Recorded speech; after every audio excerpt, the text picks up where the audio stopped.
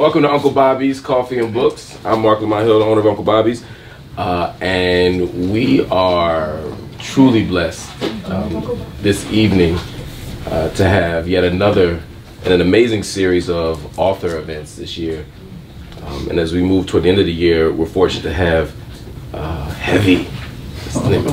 This is a very special book by uh, Kiese Laymon, my favorite writer, and I and I don't I don't I don't throw compliments out there that I don't mean. He, he really is my favorite writer. And I, I, was, I was getting dressed on the way here and I was like, I, I shouldn't even wear no writer hoodie talking to you, man. Because I don't feel like when, after I read his book. No, really, really. I don't write shit like two weeks after, after I read his stuff. Because he's such a compelling writer, such an honest writer, such a, such a, such a beautiful spirit that comes through in the text. Um, and I'm so grateful that you came here to, to share. So grateful y'all had me. Oh man. So let's jump right into it. Yeah. You want to write a lie. Yeah. What kind of book did you want to tell? What kind of what were you thinking? What was your process when you were thinking about this book? Uh, so the book I sold, The Scribner, was a um, it was a weight loss book. I was gonna lose 150 pounds. Everybody laughs, motherfucker, be laughing. I, love, I love telling the story, looking at the laughter. He can do it now. The, the, the white brother like. uh, that's what I saw. I was gonna I was gonna lose 150 pounds, and um, I was gonna talk to my mother, my grandmother, my aunts about their relationship to food, violence, sexual violence, racial terror, and weight. And um, I started doing all the interviews with my grandmama, my mama, uh, auntie, and them. And at some point, I mean, it's just true. My grandmother was, was, was supposed to be telling me this story of, of, of what happened to my youngest aunt when they all went up to Milwaukee one summer, but they left my aunt um, in Mississippi, and that was the, the summer that she got sexually assaulted by a number of men. And when they came back, Sue had gained like 50 pounds. So I wanted her to talk about that. And instead of talking about that, my grandmother started talking about how like that summer my aunt worked in the chicken plant, and if you work in the chicken plant, you got a discount on chickens. And my aunt used her discount on chickens to buy a lot of chickens, and she fried up a lot of chicken. And so it was just a complete and utter fantastic lie, but it was a good lie. And then I said, Grandmama, like, why you lying? And then my grandma was like, Well, Key, turn that shit off. And she's like, Because you're gonna put this in a book, you know? Mm-hmm. And so then I was like, Okay. So I think the way my grandmama and I were playing with language was interesting, but really it was gonna be a book where I sort of was like a tourist in my own family, telling the nation about my grandmama, my mama, my auntie, and them like relationship to things that they didn't want to talk about. Mm-hmm. And it really was gonna be a book about words and so instead of putting that shit out there, I was just like, all right, I need to write back to them after listening to them lie to me to my face um, vividly. I just needed to write to them. And then I wrote a chapter. My mom wrote a chapter. My grandma wrote a chapter to my imaginary daughter, wrote a chapter to my ex partner, who I was very emotionally abusive to. And then the hardest chapter of all those chapters was the chapter to my mama because, you know, it was just us. She had me, she was very young. And I was just like, if I'm to do this book justice, I need to write to her and, and, and, and I need to not just write to my mom, I need to write to a black woman born in 1954 who grew up in the middle of central Mississippi, who went to Jackson State University, who went to Wisconsin, who felt the calling to come back to Jackson State University, who was instrumental in all the progressive movements in my city and my region between 85 and I would say 98. So that's what I wanted to make the center of the book because if I made that person the center of the book, I was going to be less likely to lie. So I wanted to tell a lie because literally Scribner paid me to tell a lie. Mm. And along the way, I was just like, fuck it, I got a job, I got tenure, let me just go ahead and try to write the book. That, I think that's important. I think that's important because I had and I not had a job, had I not had tenure, I would have written that book that they wanted they wanted written. And um, so that's what happened, you know. So I just decided I was gonna write this book to my mama, with my mama, with my grandmama. Um, and just hope and just hope that it could turn out like unlike any other memoir that I'd ever seen. Yeah. And you know, it almost turned out. It's not. I didn't do it the way I really wanted to do it. Well, I don't know. You did it to death, man. Close. I, I, don't know what's left. I, got, I got close. You you talk about this. So there's the, the kind of industry push to tell a certain kind of lie, of in the sense of telling a certain kind of story. Absolutely. But as you write through the text, there's also this way that you're uncovering layers yeah. of truth for yourself. Yeah. That, that the lies aren't just to the world, they're also to yourself. Oh, yeah. And that the family's telling to each other. Absolutely. Talk a little bit about that. Yeah, well, first of all, thank y'all for having me here. I Oh, feel yeah. I feel so special to be like next to you, Oh, um, and just to be in this space. Uh, I was just talking to Imani, who, without Imani Perry, I'm not here. Like literally, like walking. I just want to. Sorry, it's the truth. I'm not walking, and if I am walking, I'm not thinking. So I just want to be very, very happy to, to let y'all know I'm very happy and feel lucky to be here. Uh, yeah, I mean, you know, this is not. I think what I want people to know most about this book is it's not a precious book. I don't think the lies that I told myself or that I told my mama, my mama told me, I think the constitution of those lies is like very familiar. I think the shape of those lies might be different. You know what I'm saying? And so, you know, I had my mama had me. She was 19. I saw her, and I had never seen her in a healthy relationship. Actually, a healthy romantic relationship. I've always seen. I've only seen her in abusive, physical, emotional relationships, and um, my mother also was just like in Jackson, she was always on TV. So one of the lies we told each other and we told the world was that like we were doing all right monetarily. You know what I'm saying? Because you know black folks see black folks on TV, motherfuckers think we rich. You know, even if it's public access. Like, because we're so we, we, we, we were so loving and desperate for wins and so when you see a black woman talk you know doing political prognostication and talking the truth about white people like people just thought we were we were good and we weren't you know what i'm saying we weren't for lot, lots of reasons um You walk in the supermarket. Bruh like that's the story i mean that that might be the most embarrassing story in that Yeah. in that book from my mother is that you know early in the book i talk about being at this house which to me was like the internet. You know it was a house where it was the first time i saw porn the first time i saw fucking like a dildo it was the first time i saw mike tyson fight. They had the best video games. Um the two brothers would actually fight each other with trophies. You know, like so all the shit you weird shit you see on on the internet now. I saw at this house my mama used to drop me off at, and um, and that house also, you know, it was a colleague of hers who was older, who had who had who had you know significant amount of money, and so you know, I would compare their pantry to our cabinets because we didn't have a pantry, we had cabinets, and their refrigerator was filled with fucking like name brand shit, and especially you know name brand blue cheese dressing, which might not mean a lot to people, name brand sandwich bread, which might not mean much to people, name brand Miracle Whip, mm-hmm. which might not mean a lot to folks, but like my mom and them, we had. She was like broke bougie, right? So we we didn't have shit in our fridge except shit like olives and like old ass wheat bread, you know, or like you know maybe a slice of like pumpkin, you know, like things that whatever, you know, like that's that that was my refrigerator. That was our refrigerator. But end of the month, you got to go to the store whether you have money or not. And the story my mom to this day really did not want me to tell is that we were in the uh, grocery store and she was trying to get this stuff to make some tuna casserole because that's what she made. That's like the thing that she made. And uh, when we pulled up, I remember I was reading Right On magazine. I don't know if y'all in here old enough to remember Right On. And I was like, "Can I get this?" And she was like, "I'll get that magazine for you for your birthday or some shit." And then I saw her face behind the cashiers with a with a with a with a sign that said, "Do not accept Nan check from these people." That's what it said. And there was a picture of her and her license, and there was some other pictures, of some other people. And then I was like, "Mama, let's just go. Let's just go. Let's just go." And she was like, "Keep, be, be quiet." And then I think she saw it. I mean, at the time I thought she saw it. Now I know that she saw it for sure. And we got in the car. She started telling this speech to me about how like they never value our work. Um, she started talking about my grandmama working in chicken plants and whatnot. And so, and she let me drive her home that night. And like by the time we got home, she'd fallen asleep in the passenger seat.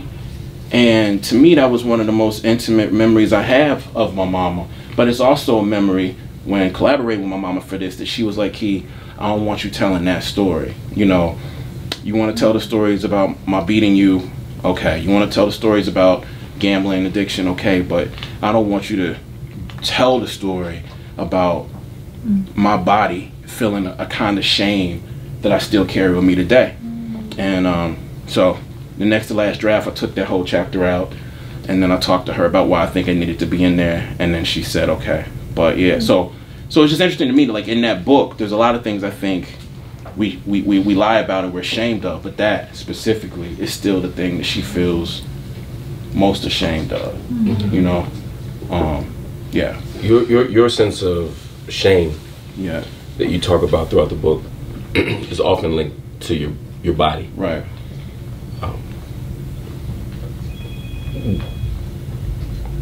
When did you first feel that moment where you said, the body that I'm in doesn't make me feel safe or free Oh, or happy?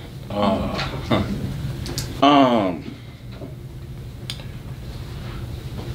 appreciate you asking me that. You asking me that. I would, I, I would not appreciate that coming from somebody who I did not love and respect. So, uh,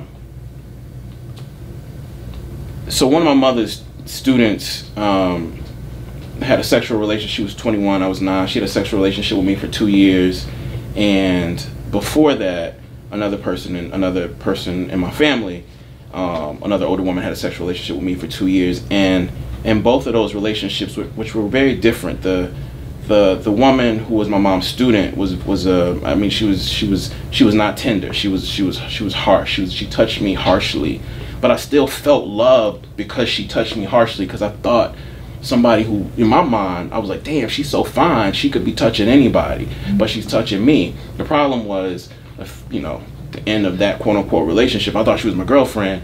I heard her being sexually assaulted by her partner, mm. and I remember thinking, looking at his body, you know, and I mean, this motherfucker literally had a body like Apollo Creed. I don't know if y'all know who Apollo Creed was, but at the time he was like, he and Mr. T were like the most ripped men that I'd seen.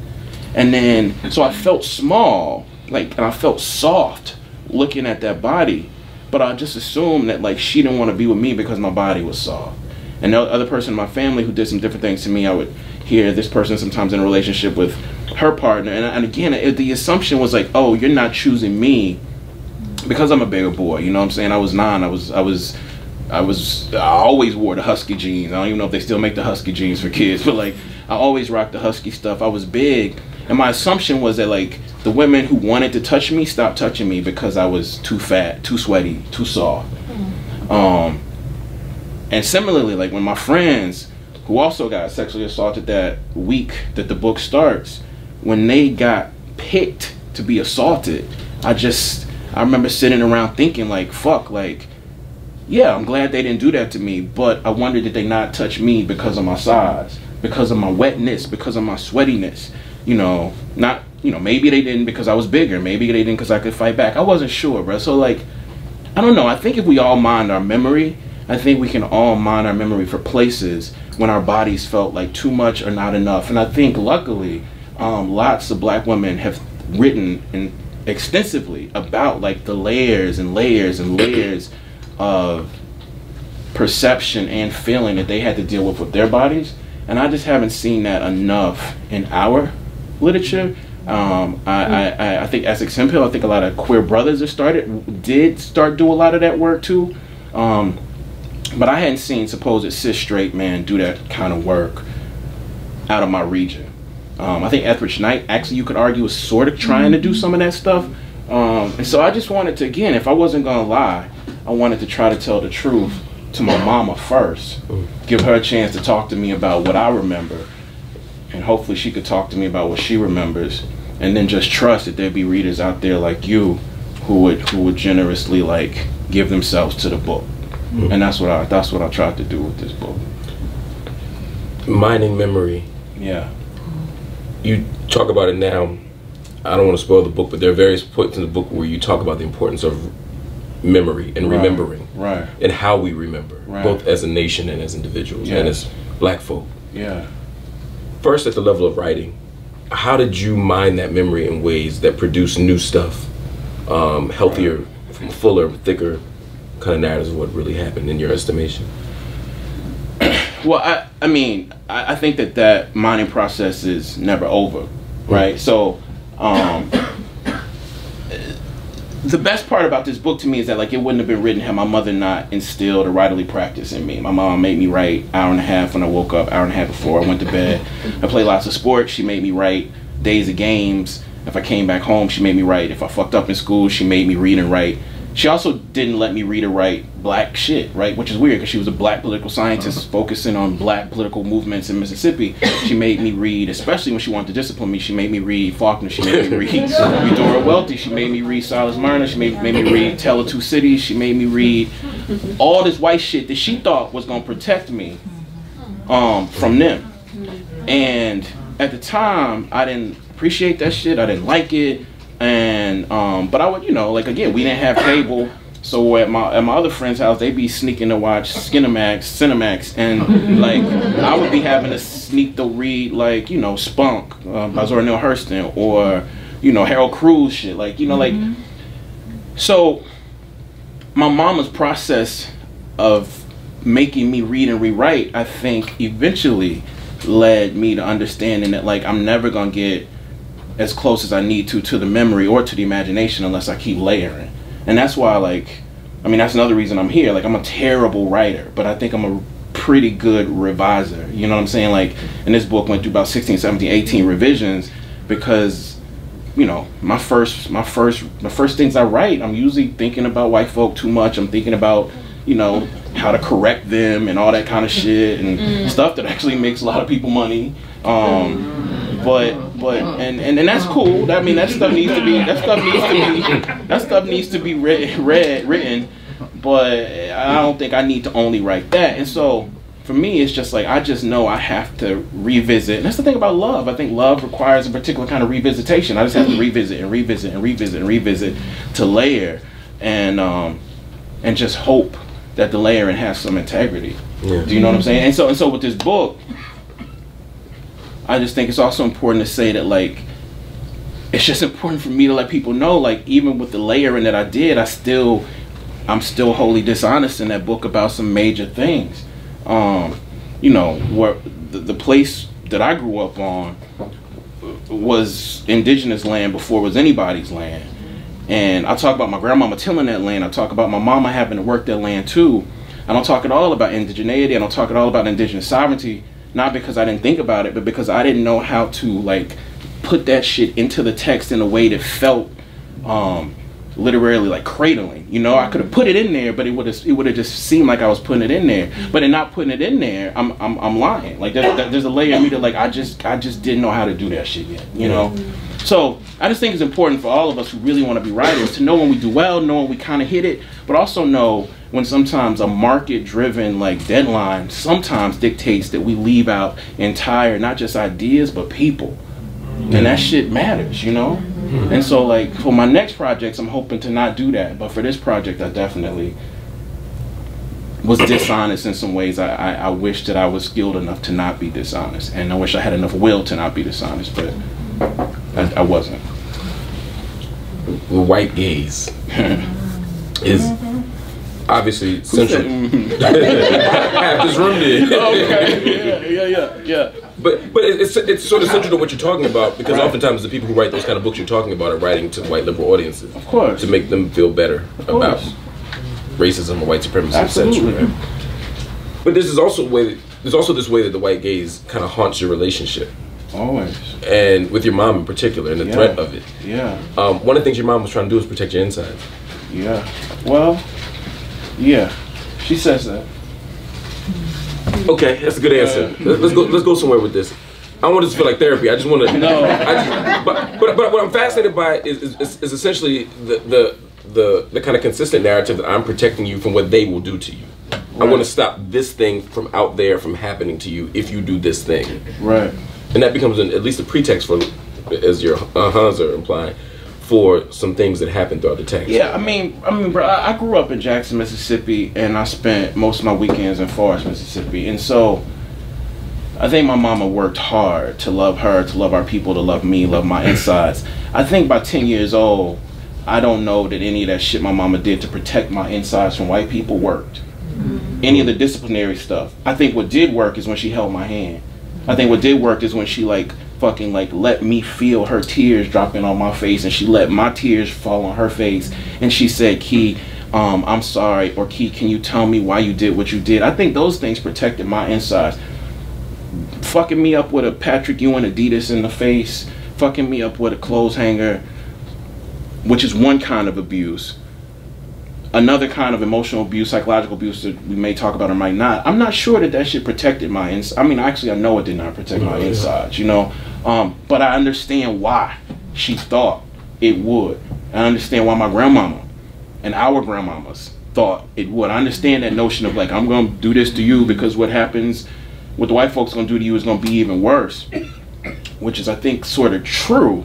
But I just don't think that those things stop that shit from happening. Mm-hmm. Do you know what I'm saying? When I was 12 years old, fucking police officers were telling me they saw me throw crack out of windows. You know what I mean? Like the day before and after I got whooped to protect myself. Mm-hmm. So, you know, I would get beaten because my white teachers would fail me. And because I read so much, I understood. I'm like, damn, you beat my ass because my white teachers failed. So like, it's- it's counterintuitive. It's like, how you protected me when they failed? They gonna fail tomorrow too, and then you gonna beat me again? That ain't that's that's not. I don't feel like that's protection. But I say all that to say, when I have children, I know if I did, I would make probably similar similar decisions, and I probably would fail similarly or maybe differently. But I think it's important for me to say to you and to my mom that a lot of that protection rhetoric, I think, harms our insides. And I'm not just talking about beating, because I think we focus on beating and we don't talk about the other ways we can all be abusive. Um, so no, I don't think that that shit like protected my insides at all. It made me confuse intimacy with terror in a way that I that I think the nation already wants me to confuse intimacy, with terror. So Well, there's a way that the world keeps telling you you're fine. Yeah, At least in your intimate relationship. Right. The people who loved you loved you. yeah, yeah, yeah, for sure. And you kept hearing, it seemed like you kept hearing, I love you in spite of this stuff. Yeah, And that ain't what they were saying. In fact, they were saying the opposite. yeah. What What's the thing that, that, that prevents us from hearing authentic love and seeing and recognizing authentic love in the context of your life and maybe even bigger picture?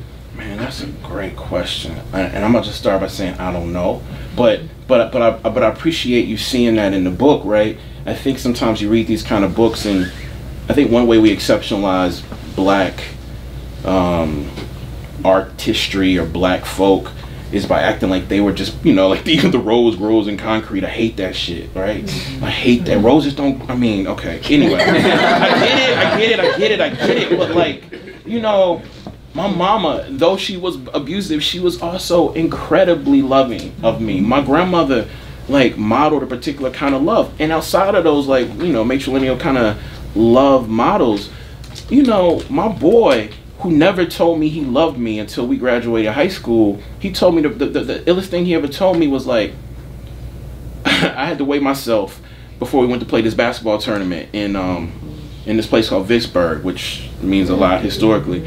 And I got on the scale and I weighed like 231, 232 pounds. I was like 5'10 at the time. I was seventh, seventh, eighth grade. And and the coach started dying laughing. All my boys started dying laughing. But my boy, boy, Lathan, was like, everybody laughing because you 5'10, which is like, you know, eight inches shorter than Jordan, but you weigh like 30 pounds more than Jordan, right? And he started laughing. And that shit was funny when he said it. But I was feeling some kind of way about that, right? And then he was like, he was like, nigga, you, you. Like, and that was his way of saying, I love you, fam. Like, fuck that number on the scale. Like, you, you. I couldn't hear it that way. I just was like, the you that I was, I just knew was like bigger and like, again, sweatier than the other boys. And I, and I felt some kind of way about that. And then I got, I got, I got love from different people in my community. Like, a lot of love. So I don't know why I internalized what appeared to be really warm love as like we love you even though you fucked up because that's not what people said to me. Right. They never said that to me. I mean, some people did say that to me, but the closest people to me were like, "We we we love you. We gonna love you, and yeah, we gonna call you when you fuck up, but we love you, and we know you love us." So I don't know. I don't know the answer to that. I mean, you smarter than me. Maybe you could talk about that. I, I don't know, fam. Like, I really don't know. I don't know. Um, I do know that. Um, I'm not trying to divert that question, but I do know the white supremacy, anti-blackness, heteropatriarchy is real, and I think that sometimes like those forces kind of sort of dictate our imaginations much more than actual real people do, which is what is the scariest thing to me. Um, so while those real relationships were happening, a lot of other things were happening. You know what I'm saying? Like a lot of you know, a lot of things that I can't talk about in this room, and a lot of things I can't talk about in this room were happening. And it had to do with like police and things like that. So I think all of that had to play in it. But I do want people to understand, like I was, I mean, I'm here today because I was loved um, by people who who, who who who who saw me in spite of what I saw in me often. And, and, and, and I'm more than grateful and I'm more than thankful for that. But I think that's really important to say because I'm not the fucking Rose who, who grew in concrete. Like, I'm, I'm whatever the fuck who grew in like rich, complicated Mississippi soil. There's a couple interesting literary moves you make that I that I thought were telling, and I, I want to know just a little bit more about them. Okay. Um, maybe I'll ask one of them because I don't want to ruin the book for you. I mean, I want y'all to appreciate the book on its own. um, there's several moments in the book where you talk about freedom. Yeah, You, you say, and I, and then I felt free. yeah. Um, when did you feel free? Um. So thank you for that. You good at this. It's good. When you get something like this after people being like, "Tell me about addiction," you know, like, uh, do you still talk to your mama? You know, like, you just like, Lord. Um, so what I'm trying to do, what I'm trying to do in that book, uh, at least for my family and, and for my region, is sort of demystify and also mystify this notion of free as a destination.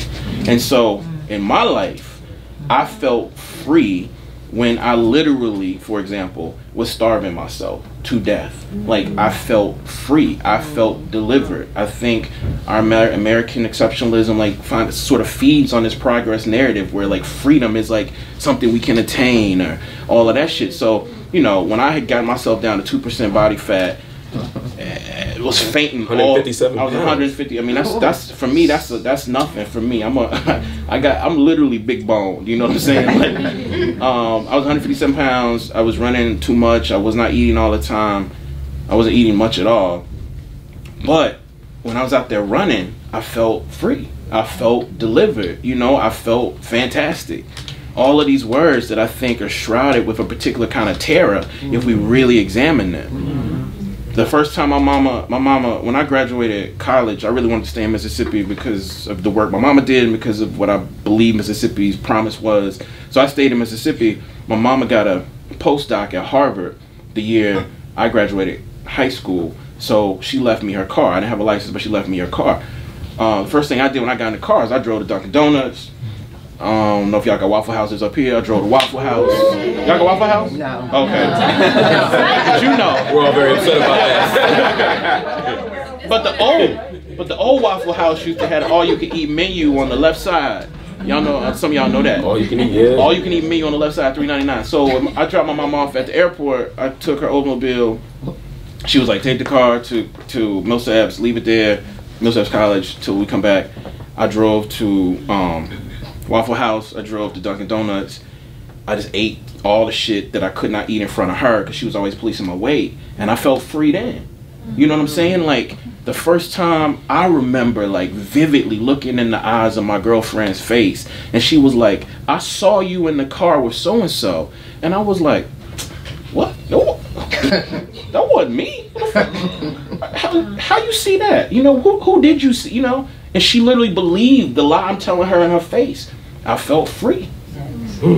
Which means to me, deliverance and freedom need to be like actively and radically fucking like interrogated, especially in a nation that, it, that, that, that, that congratulates itself on progress at the expense of other people's peril. So, the book, beyond all this other personal shit, is really about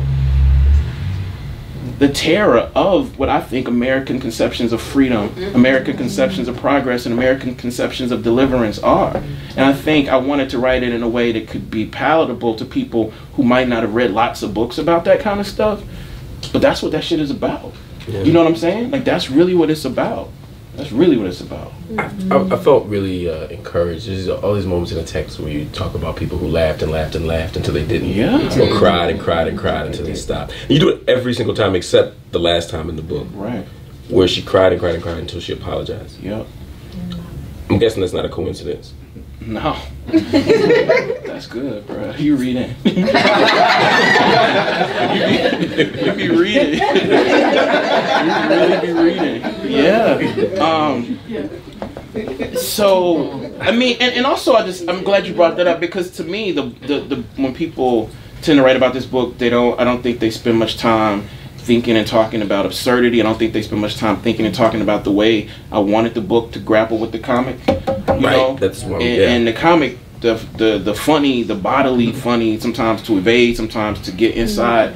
To me, is in not every page, but at least every chapter of this book. And in some like the Black Abundance sections, I think that shit is in damn near That's every. my favorite. That's my favorite too. That's my favorite too. um, uh, so I just I just wanted to remind people that like yes, like again, like we laugh and we laugh and we laugh and and then we don't. Uh-huh. And then we start again. We laugh and we uh-huh. laugh and we laugh, and then we don't. But like, what happens after the don't is a, is, is an interesting thing that I want in the book. There's a lot of things that happen in between the laughing and laughing. And sometimes we're laughing to evade people looking at us. Sometimes we're bodily like our bodies can't stop from laughing.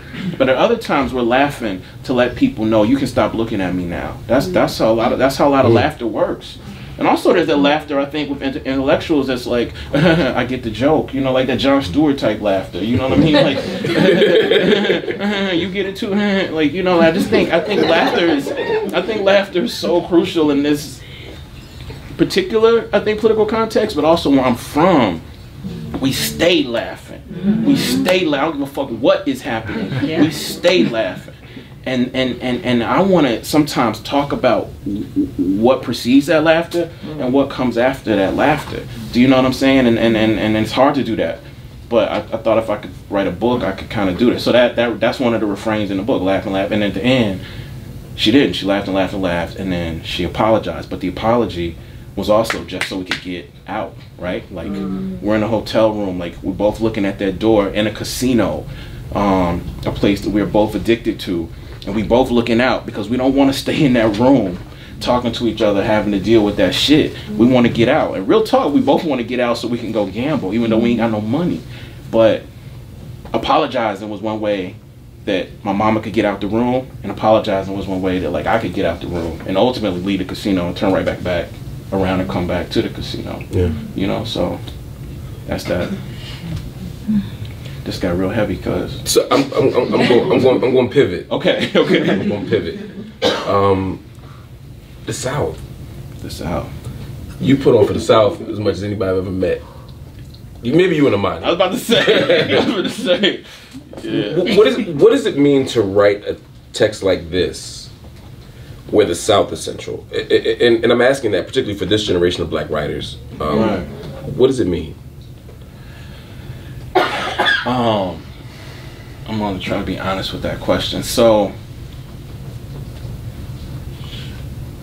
okay, so I don't think people admit this, but I think a lot of what we value in terms of black deep south literary production in this country is sort of black versions of Faulkner. I mm-hmm. think we value a lot of people who I actually value who do Faulkner better than Faulkner. Mm-hmm. Absolutely agree with that. I believe it. I, I love that.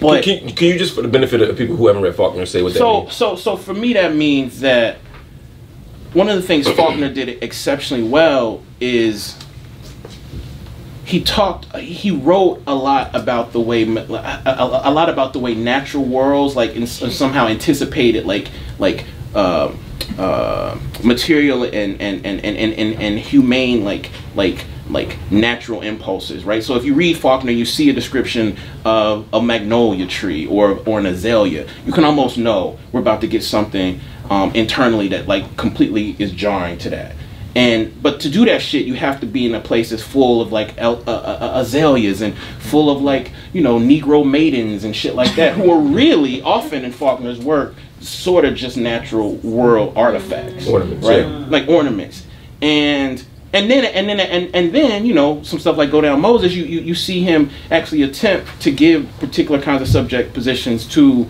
black characters who happen to be black women sometimes and people pat him on the back for that and i think that that actually is faulkner's best work whatever Faulkner couldn't write like Faulkner if he grew up in Jackson, Mississippi. You know what I'm saying? Like Jackson, Mississippi is an urban black city surrounded by rural black country ass towns.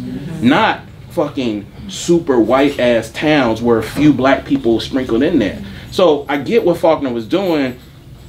I get what a lot of Southern black writers are doing when they sort of try to do that shit better than Faulkner. But that's not where I grew up. You know what I'm saying? Like I grew up in Jackson. I grew up in Jack in like named for Andrew Jackson, right? Like Highway 55 and Highway 20. All of these motherfucking things intersect. And so for me to tell the stories of my city, I just had to appreciate what Faulkner did, but also be like that that one kind of South that Faulkner wanted to write about is not is not where I'm from. And Eudora, who actually is from my city, also couldn't tell stories that center us because she didn't have like the writerly ability. I don't think. And this isn't a diss because I love Eudora Welty actually much more than I love Faulkner. But she couldn't have she didn't have the writerly ability, I think the will to actually conceive of subject positions that were not like fucking like white women or black women who really relied on white women for everything. The, the main thing is like these white motherfuckers don't understand and we can't we don't want to fuck with them. They don't think they don't understand when they create these white these, these black characters that we really do not want to be fucking with them. Down south we don't. We got to, but we don't. Like and if and if somebody would have told one or two of them that, everything changes. everything changes. Everything changes in the literature. And so because that's that shadow is so heavy and so deep, I think as a young writer, you you're you're, you're prone to like want to want to write these correctives. Mm-hmm. But because of hip hop, and because of fucking lots of other black writers, I'm like, I'm not trying to write a corrective to y'all. Like, I'm not trying to, that's just another way to center them, right? Like, I'm trying to, like, use the tools that I've been given, or oral tools, literary tools, cultural, spiritual tools, to kind of tell other stories that I maybe haven't seen before. And so, that's what I'm trying to do for my, for my region. But I think it's, it's, I'm also doing it in a, in a time where like a lot of rappers have, have, have sort of tried to do it too. Mm. Do you know what I mean? Yeah. So like K.R.I.T. is doing it, you know, and he comes up in a town called Meridian, which is a which is another like strange like mm. it, people think Meridian is white, but Meridian is very black fucking town, you know, and it's right next to Forest, which is another like black town. Black people don't have power, but there's a lot of black people in in those places. Um, David Banner was like, you know, two or three years older than me, but he was in a group called Crooked Lettaz with my best friend's big brother and Kamikaze. And so like they I saw them attempting I saw them attempting to mimic the shit that was coming out from up here, and then I saw them attempting to actually like use words to craft what was happening in our experience. So anyway, I was just trying to do some of that yeah. with our work. Sometimes I go overboard because I think I try to project this kind of like critique of New York and diss in New York. That's not really grounded. Like I, you know, I was, I was, in Brooklyn last night. I was in Manhattan the other day. Like I, like the people I love the most in the world, other than Mississippi, live in those places. And I think sometimes just trying to be oppositional, I try to diss, I try to diss that. Yeah, I do that too. Okay, okay, good, good. like okay. we gonna decenter New York. Yeah, no matter what. Right, that's what it. No matter what. And so, anyway, so I'm, I'm trying, I'm trying to create a literature that I haven't seen, but also that's heavily influenced by the literature that I have seen, um, the, the, the, literary arts that I have seen. And I think music is literary art too. In, the, in the last two years, we've gotten to read Mychal Denzel Smith, yes. Darnell Moore. Yeah. Uh, we had Michael Arceneaux here last week. Wow. Um, uh, so many before that. There was Charles Blow, mm-hmm. slightly different kind of text, but yeah. But nevertheless, there's this moment of, of memoir Right. Um, that seems at its height. Yeah. Um, there were others, but um,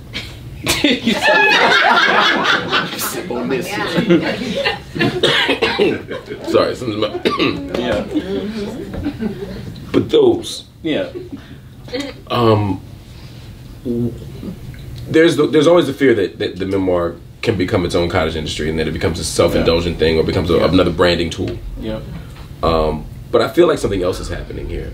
What do you think, Sam? We're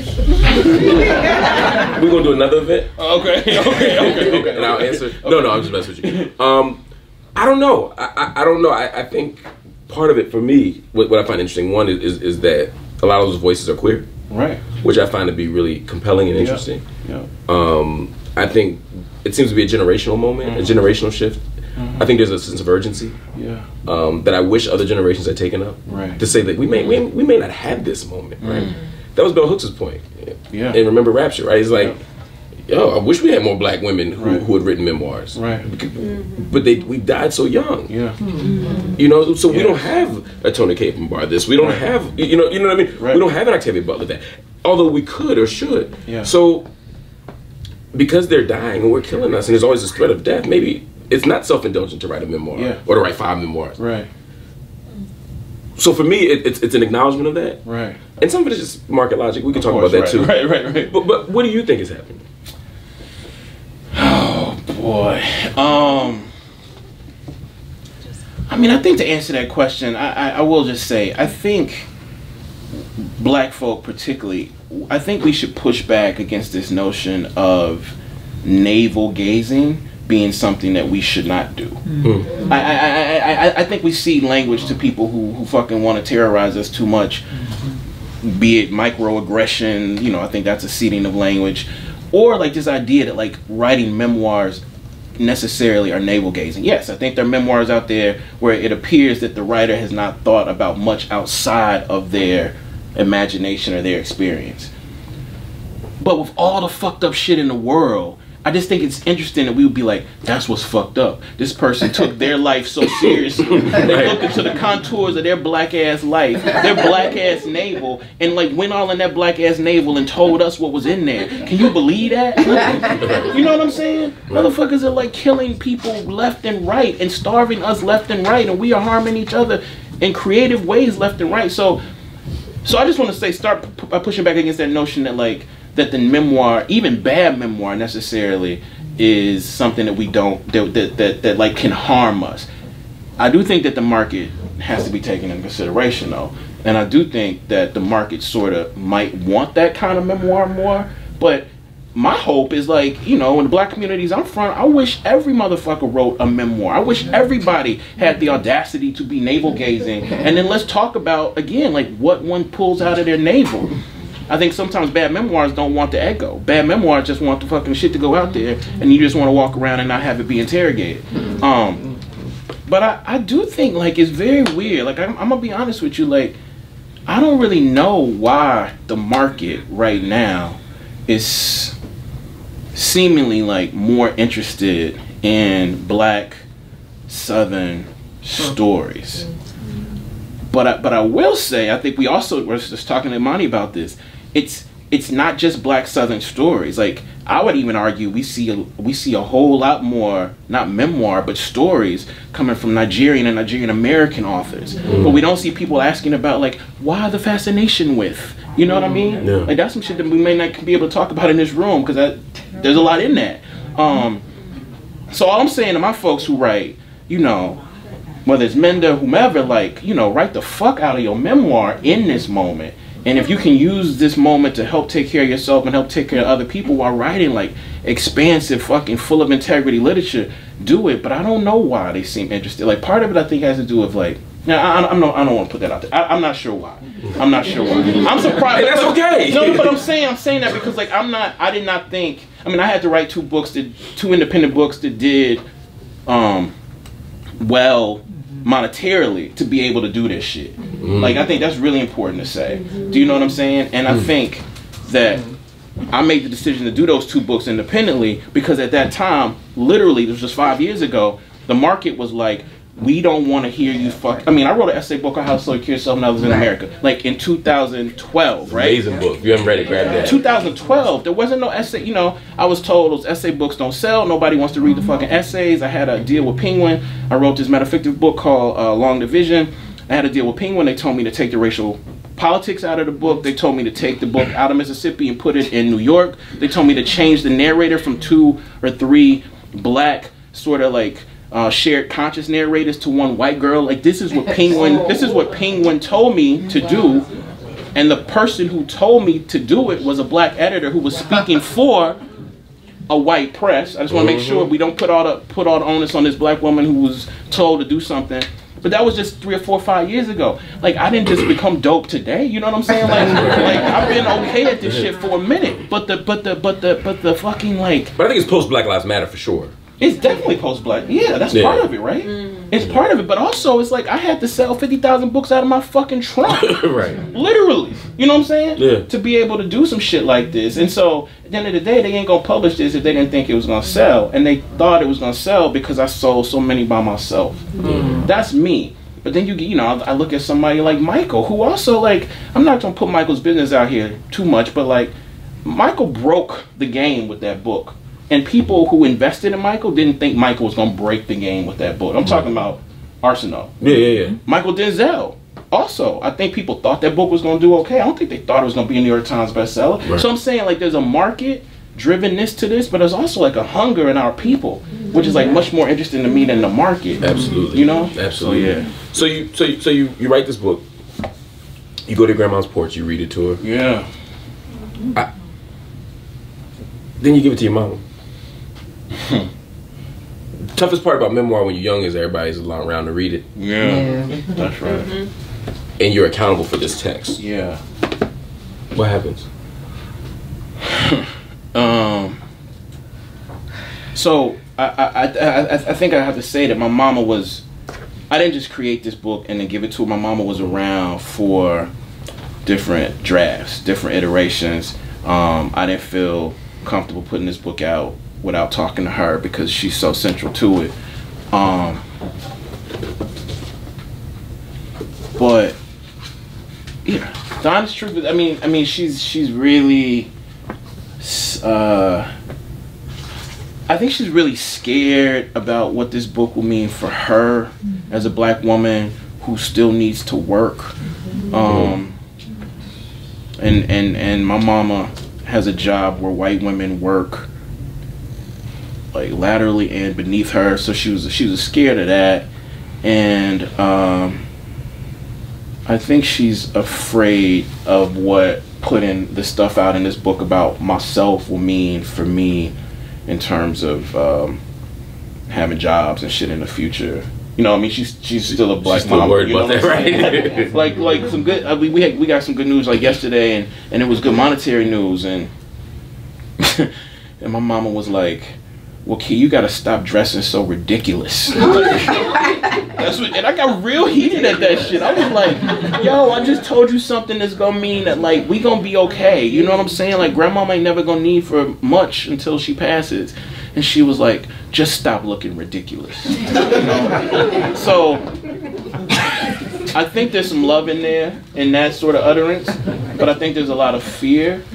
But you know what I'm saying? My mom, I mean, this is what I say everywhere I go. My mama created me, fam. Like, you know, like I literally am a like I I'm a writerly beast, my nigga. Like I just like to read and write like too much. And so I wanted to write a damn piece of art, and I wouldn't have wanted to write that damn piece of art had she not insisted that I become a writerly beast. So I like, in some ways, her investment coming full circle. That don't mean she has to like it all, but but I wouldn't have been able to do this without her. And so like sometimes when she says things that hurt my feelings, I have to understand that she's also speaking from a place where her feelings are hurt. Because at the end of the day, my mama would rather me not be talking to anybody about her failures. But part of what our like part of what like a liberatory love literary movement means is like I can get in front of people and I can talk not just about how good I am, but I can tell you and tell these motherfuckers right like, yo, I failed. That's some shit my mom and grandmama can't do. They can't get in front of anybody and be like, as black women, and be like, I failed. They created a black boy who can do that. That's a big deal. That's a big deal. I guess I don't know. I just really relate really hard to your mother telling you not to look so ridiculous because my mother tells me that consistently. But hmm. what does that even mean? Like, does she want you in a Steve Harvey suit? Like, what does like not looking ridiculous to her mean? Because you know what that you know what it means to her, just like I know what it means to my mother. What does that mean to her? I mean, what it means to her is that Shh. I just I told Imani there's a writer out there she wants me to look like. I'm not gonna say his name in public, but it means that like if I'm gonna be up here talking about writing, she wants Is it me to Steve look. Harvey? No, it's not Steve Harvey. It's not Steve Harvey. She wants me to. I'm he's not writer. No, she wants me to. She wants me to look and present in a way that is that is that is like respectable, but also just has few, if any, tentacles. Right, like nothing poking out of the sides of it. Right, and so like if I'm gonna write a book that has like the themes that this at its center, She wants me to write like a sociological book where I don't at all expose myself or the family. I expose the ideas that the family sort of, and I understand that. I really understand that. But I'm, I mean, first of all, people write that shit better than me. You know what I'm saying? Like, I'm trying to step in a lane where I can do some actual work. Do you know? Um, that matters. And like that, you know, so I just think it means she wants me to, when I present in front of people, to wear, to wear the suit, to wear the tie, to not wear pants that seem too big, to speak the King's English, to never cuss, and to never ever say a word about myself or anything in my family that could be deemed as like not not fantastic. That's what it means, and I got it. I understand why she feels that way, but we can't we can't be always be exactly what our parents want. I mean, you know, right? Yeah. So that's where I'm at. That's where I'm at. Uh, first of all, I just definitely want to say uh, thank you for uh, just coming here, man. Uh, love your book, How to Slowly Kill Yourself and Others While in America. Yeah. Uh, that hit me really hard because I can really relate to it, being from Mississippi as well. Where you from? Woodville, Mississippi, Okay. like Yeah, yeah. 40 minutes away from. Natchez. Uh, what I wanted to ask you, it's like I've, I've only been in Philly almost about three years now.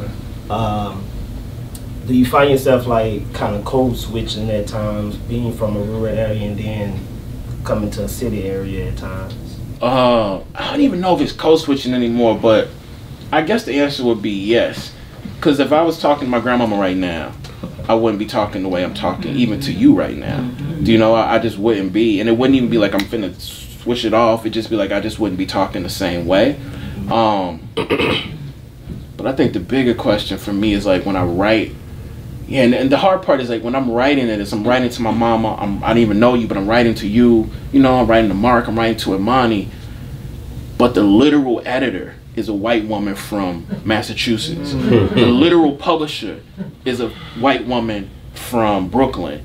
Both of my publicists are young white women from Brooklyn. They talking on the phone trying to sell this product to Barnes and Noble or Amazon or, or like white folks. So like, I, I- I'm saying all that to say, even when you try to write and connect directly to folk who you know love you, who you need to stay alive in this industry, there's so many hands that ultimately are gonna be like, no, yes, okay, and that shit scares me. I'm not sure what to do with that.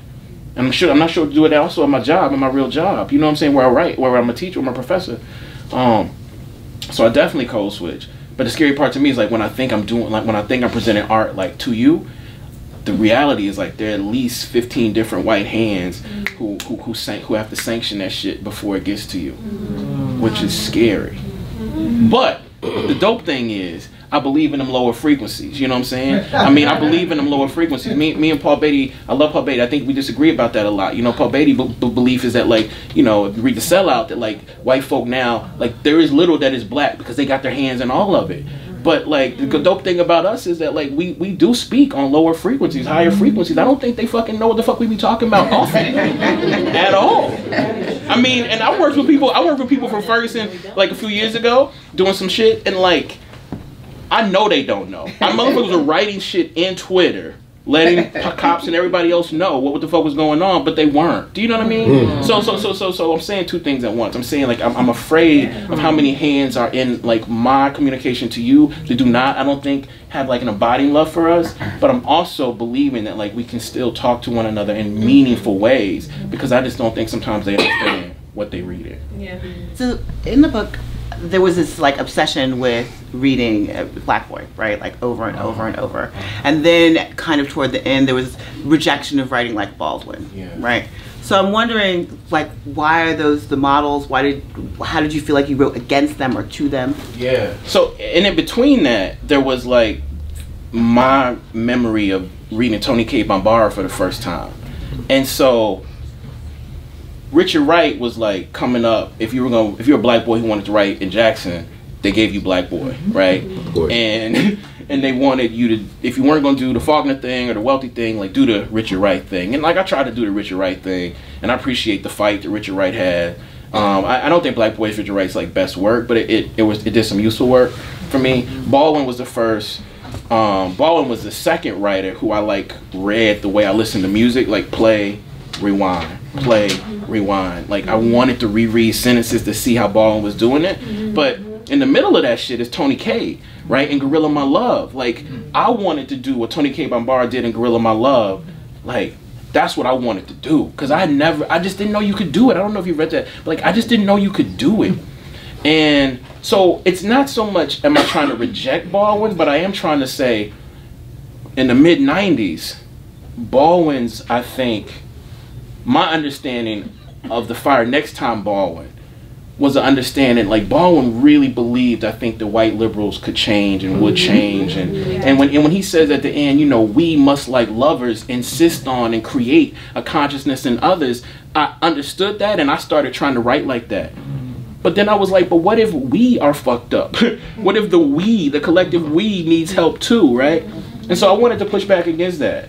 Do you know what I mean? And I also wanted to push back against like I think Wright's refusal to really like ultimately love Mississippi. That's controversial, but I understand why Wright had to dip. I understand everything, but I just don't think if he had to dip that we had to dip. But then I left Mississippi and I came back. Do you know what I mean? So I just think it's important that between those two, we see, um, and even before that, you know, we see some Nikki Giovanni, we see Margaret Walker, and we see Toni Cade. Um, but Baldwin is the person I, that I thought a lot about when I was writing this kind of book because of Fire Next Time and because of his direct address to his nephew. And then, like, the rest of the book that is obviously to me not written to his nephew or you or me, I don't think. So. Thank you. Thank you for this book. Um, Marc sort of touched on what happens after you write this book and share it with people who are still alive to read it. Yeah. I'm curious about how you committed. I know so many people who are writers and who are afraid to write the truth about people who are still alive. Mm-hmm. How did you commit to that process, knowing that the people that you would be writing about are still alive and would read it and would interact with it? So again, I just believe in the drafting process, which means that there are like three things that I wanted to write in this book, three experiences, and that I feel like are the, I'm trying not, the word trauma is not in this book, but there are three traumatic experiences that I wanted to kind of be like three fulcrums, even though that doesn't work, like, you know. But none of those three things are in the book because two of those things would have exposed people uh, in my family too much.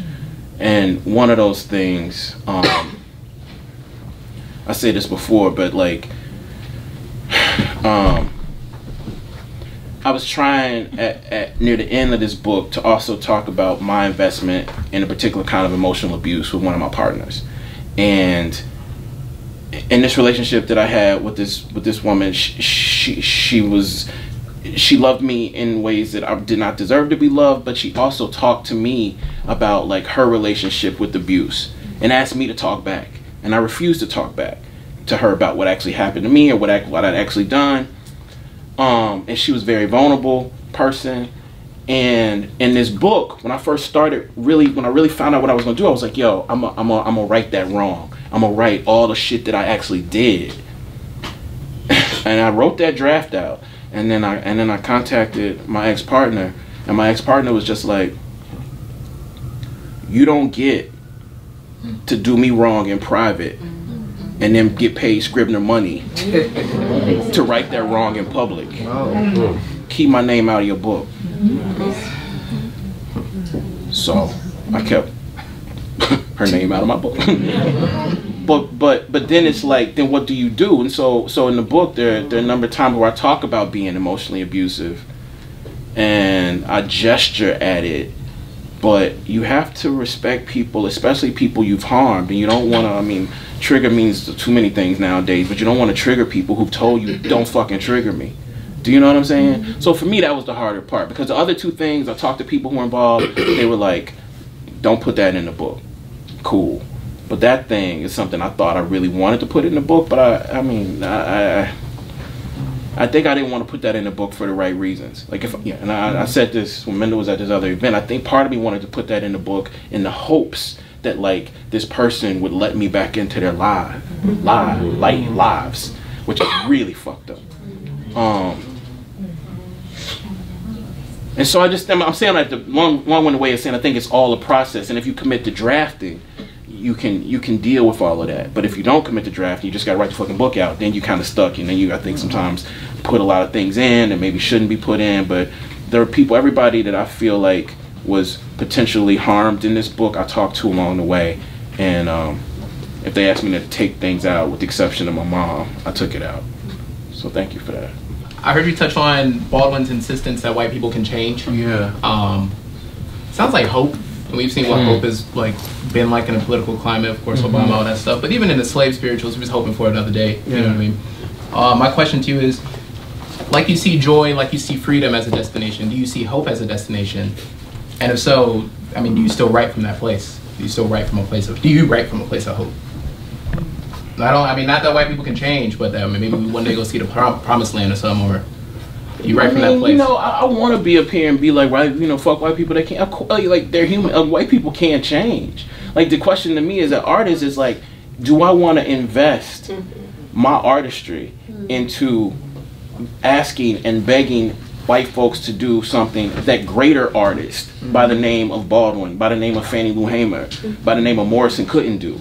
Like it's not like do I think of course they can change. White folks have changed and they will change, but but like but like as a writer, I just can't mm-hmm. write no book that is just about hoping white folk change. Not, hope. do I have hope? Yeah. I, I, I well, yeah, that's what I'm trying Not, to say. not that white people can change, but maybe that we can get to that point. I have hope that like I, I definitely have hope, fam. Like I have uh-huh. hope that, you know, if I'm holding on to Mark and Mark is holding on to you and you holding on to Menda and we really talking about what we holding on to as much as as much as we can without harming one another, I think we can we can fight back with like what Baldwin called equal force or greater force. I think our liberation movements have much more integrity and hope if we are if we are tied mm-hmm. together, if we are tied pushing back. I have a, I have a massive amount of hope in that, but I don't know how to do that shit and appeal to like white people's moral fucking like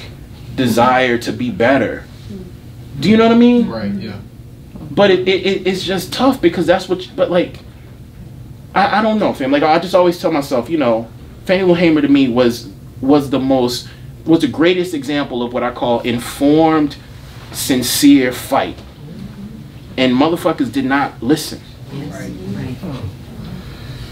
So I'm not gonna play myself. When there's other things to do.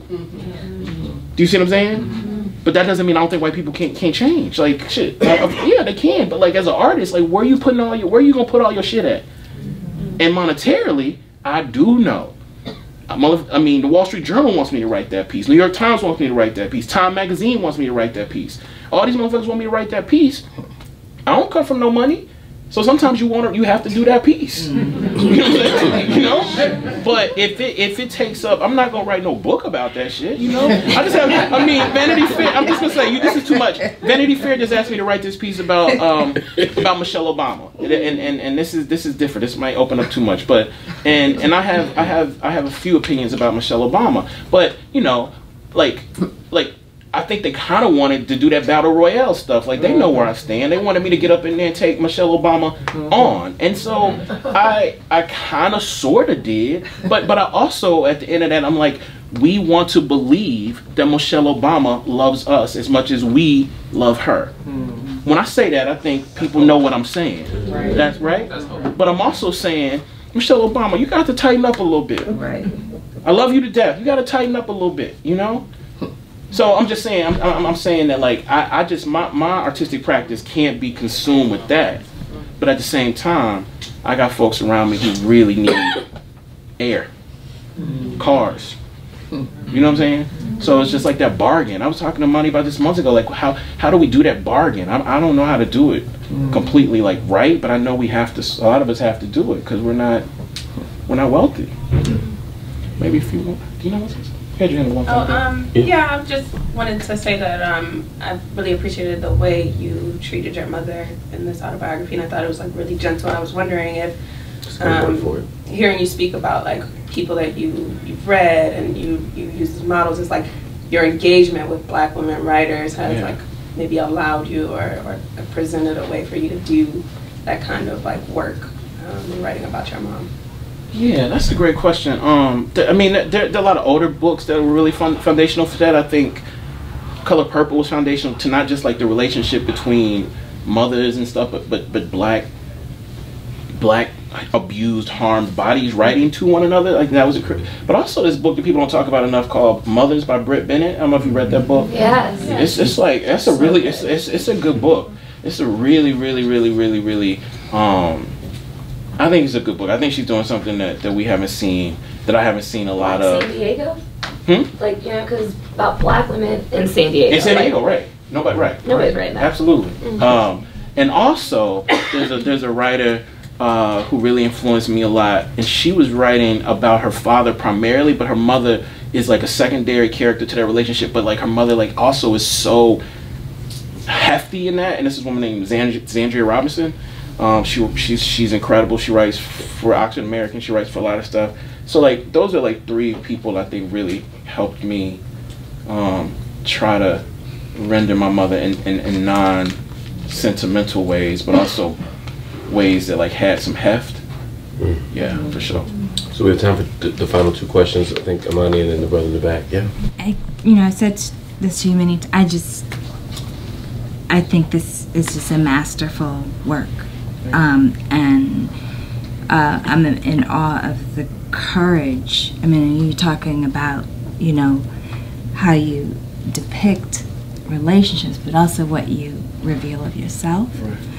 Um, but the, the question I have is really, and the thing that blows me away is that, you know, this is this form where you share, like the memoir is a form where you tell the story of your life and it's an arc and usually comes to a resolution. You resist resolution the same way that you resist, right? And that, and that actually to me is so profound. I mean, in terms of addiction and disordered eating and all these sorts of things, is all the things that we think that fix it, we, you know, and we all know, but we don't say it, don't really fix it, right? Um, and dealing with that, but the the form, like I kept thinking about the part in Beloved at the end where she keeps saying it's not a story to pass on. You're like, okay, but the story is here. Mm-hmm. But you're saying it's not a story to pass on, and that there's something formally happening there that's very similar to what's happening here, mm-hmm. where you layer moments. So you have this political read, and then you have the personal story, and then there's the op- opacity at various points. And I actually just am curious about how you access that. Like, do you, as a as a writer, do you begin? What is the like? And maybe this is a you know maybe it doesn't happen in a clear way, but like, do you begin with the point that you want to make, or do the stories bring you to the revelation? Do the Yeah. memories bring you to the revelation? Do you start with the? Yeah, that's a great question. So, what I did with this project is uh, I wrote the once I once I figured out what the project was gonna be, I just wrote the entire project in um, first person present tense, like the entire project. Then I rewrote it all in past tense, right? And then I rewrote it again in like a future present tense. And then I, I used the sentences that I thought like worked well together, um, and and sort of tried to make like a. I mean, it's a braided. It's it's braided in a lot of different ways, but it's also braided in terms of tense.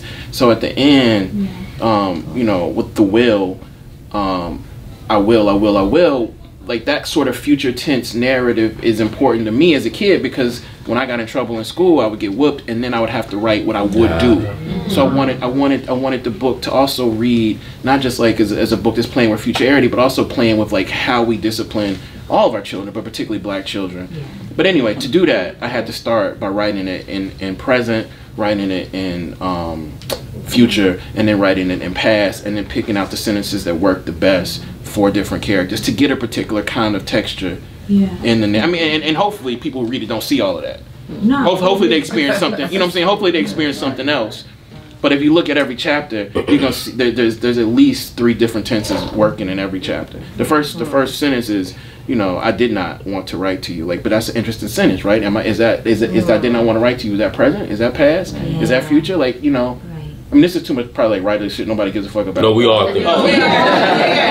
okay, but, but like I'm just obsessed with like the way you can you can actually there are some there are sentences in, in, in our lexicon that actually like embody every single tense, and I did not want to write to was one of them. Do you know? And if if it, and, and the last sentence in the book is um um uh I say please mama don't be mad at me um, I just wanted to put you put you where I've been, which is something my grandma had been saying throughout, but she'd been saying with the BEE in, right? And then I say, I just wanted to I just want to put us where we've been, but I think that also operates backwards and forwards. So that's what I think. You see why niggas don't want to write after they talk to you?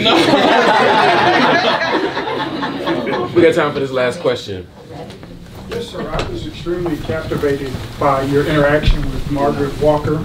Uh-huh. And um, you indicated that in the, the last words of the, of the last stanza, for my people, let, let, let a race of men now rise and, and take control. You Yeah. indicated at the time that you were confused and Yeah. mesmerized by that. Yeah. Are you, in 2018, do you still have that same sentiment? Am I still am I still confused by it? Are you still mesmerized and confused? And, and if not, uh. what does, what does that mean in 2018?